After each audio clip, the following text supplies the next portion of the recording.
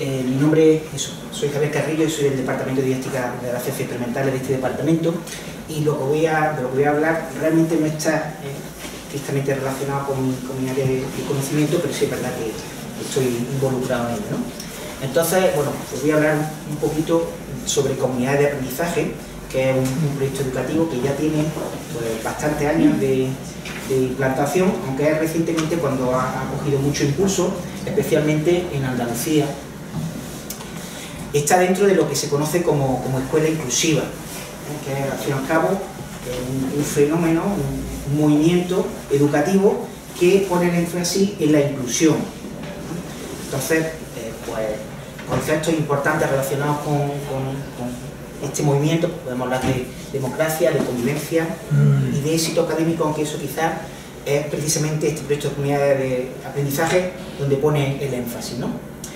El, creador de este movimiento un sociólogo eh, de Barcelona, Ramón Flecha, y bueno, él sigue impulsando y dinamizando el, proyecto. Aquí está la definición por, parte de los creadores de lo que es comunidad de aprendizaje.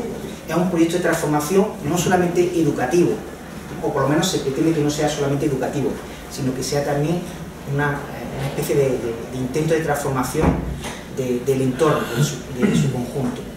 Y los objetivos, como hemos dicho antes, éxito escolar, muy importante, y, luego también el tema del asentismo, especialmente en los contextos desfavorecidos, es donde este problema es más, más acuciante y, el proyecto de comunidades trata de darle respuesta.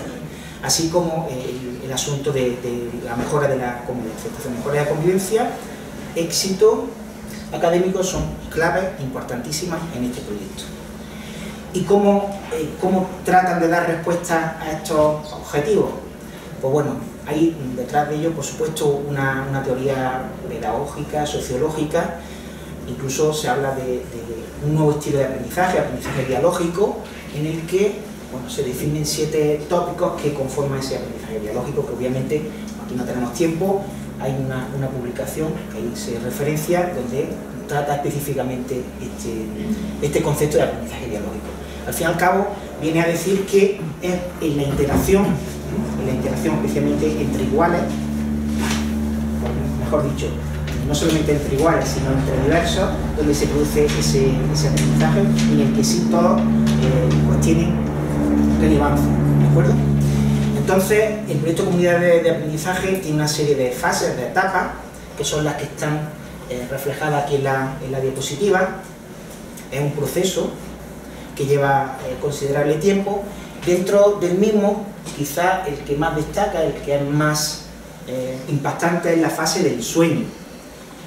Al fin y al cabo lo que se trata es que la comunidad que conforma el centro educativo y su entorno, pues piense qué es lo que quiere hacer de su centro. Entonces se crea unos dinamismos muy interesantes y realmente hay muchas experiencias en este sentido que han supuesto una auténtica transformación, eh, simplemente el hecho de vivir esta fase del sueño. ¿Pero en qué consiste?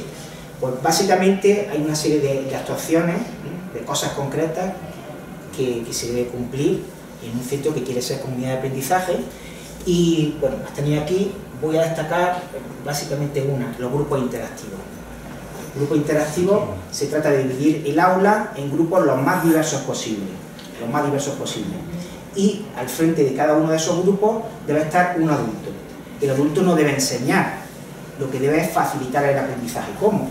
Pues interaccionando, permitiendo, facilitando esa interacción entre los chavales. Esa es la misión fundamental del, voluntario, que los chavales interaccionen y en esa interacción es donde se eh, produce, donde se potencia el aprendizaje. Pero como hemos visto, como dice aquí, hay, otras acciones más que siguen teniendo ese principio del aprendizaje dialógico. Bueno, si, si metéis por internet, en la página, en la diapositiva 1 está una, dirección URL que ahí viene todo, viene muchísima información sobre, sobre el proyecto, mucho, por supuesto, muchísimo más de lo que aquí estamos comentando. Y bueno, si os metéis también en otros foros vais a ver que es un tema eh, controvertido. Hay mucha polémica, hay muchos que están totalmente a favor, otros que están totalmente en contra eh, yo que estoy, eh, pues considero que estoy dentro del proyecto, ¿no? Pues, creo que también interesante o es pertinente o es justo decir que, que no, esto no es la panacea, ¿no? justamente ese sea uno de los problemas que tiene, que lo venden, algunos lo venden como esto es la solución para todo, que funciona 100% y que, bueno, que hay un antes y un después, después del proyecto de comunidad de aprendizaje. Bueno, desgraciadamente tampoco es así, ¿no? Tiene muchas ventajas, que es la que vamos a, terminar de contar lo que nos resta, y eso precisamente es lo que nos tenemos que fijar, sabiendo que también tiene su limitación. Bien, ¿cuál es la que personalmente considero que es eh, una de las principales ventajas? Evidentemente la que da título a, mi presentación, el que tradicionalmente las escuelas, pues eh, al fin y al cabo han sido como un castillo, algo realmente cerrado a, su entorno. Y Comunidad de Aprendizaje pone el énfasis en, esta apertura hacia la comunidad, pero una, apertura no, filosófica, eh, sino una apertura real. He mencionado antes los grupos interactivos y en esos grupos interactivos había voluntarios. Esos voluntarios supone que en horario escolar, en horario escolar, entre una persona adulta al aula. Al fin y al cabo lo que estamos metiendo son recursos, recursos que facilitan ese aprendizaje. Eso sí lo entiendo yo personalmente como realmente un, cambio muy significativo y que al fin y al cabo pues, es una especie de, manera de abrir vías en las murallas de, los castillos que a veces son las la escuelas. Bien, también en relación con eso, ya desde la perspectiva universitaria, pues nos encontramos que, hace muy poco salió la ley del voluntariado, eh, del 2015. En esa ley se define específicamente un voluntario de carácter educativo.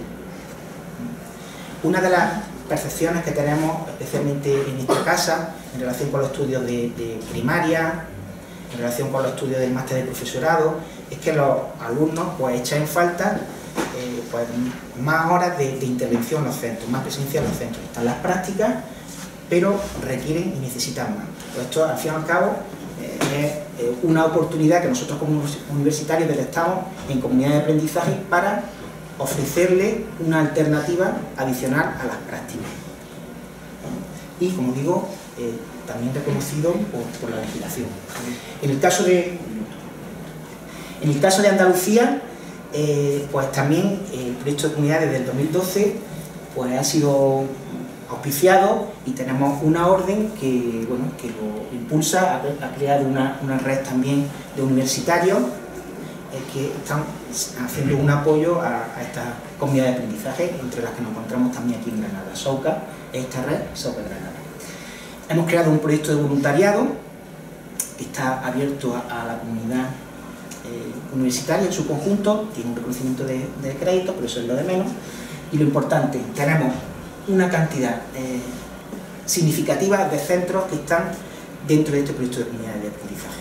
Y centros que requieren voluntarios y que entendemos que los universitarios es una excelente, tienen una excelente oportunidad aquí. ¿no? Eh, sobre todo quiero subrayar que hay muchos centros de la, de la zona norte, es decir, el componente eh, social que tiene este proyecto es, importante. Y simplemente que, que sois bienvenidos, si queréis participar, pues tenéis mi correo electrónico, por supuesto escribirme, estáis todos invitados a participar. Muchas gracias.